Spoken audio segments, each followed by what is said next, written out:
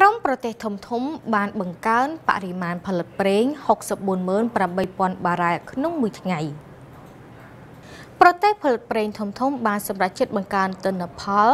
ដើម្បីឆ្លើយតបទៅនឹងការឡើងនៃតម្រូវការពិភពលោកក្រុមប្រទេសនេះបានយល់ព្រមបង្កើនផលិតកម្មចំនួន648,000បារ៉ែលក្នុងមួយថ្ងៃនៅក្នុងខែកក្កដាខាងមុខ។ ការសម្រេចចិត្តនេះត្រូវបានធ្វើឡើងក្នុងសន្និសីទតាមវីដេអូក្នុងកិច្ចប្រជុំថ្នាក់រដ្ឋមន្ត្រីនៃអង្គការប្រទេសនាំចេញប្រេងនិងសម្ព័ន្ធមិត្តរួមទាំងប្រទេសរុស្ស៊ីក្រុមដែលគេស្គាល់ថាជា OPEC Plus និយាយថាសមាជិកអង្គការនឹងបង្កើនសមត្ថភាពផលិតកម្មដើម្បីបំពេញតាមកម្រិតកំណត់ថ្មី បរិមាណនេះគឺប្រហែលជា2សែនបារ៉ែលក្នុងមួយថ្ងៃច្រើនជាងការកើនឡើងនៃទិន្នផលដែលបានគ្រោងទុកពីមុន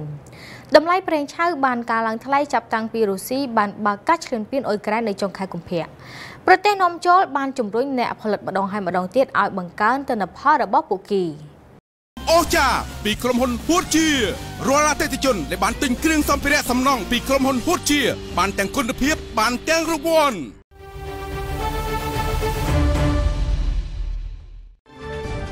សូម like និង Subscribe Channel YouTube Base TV Cambodia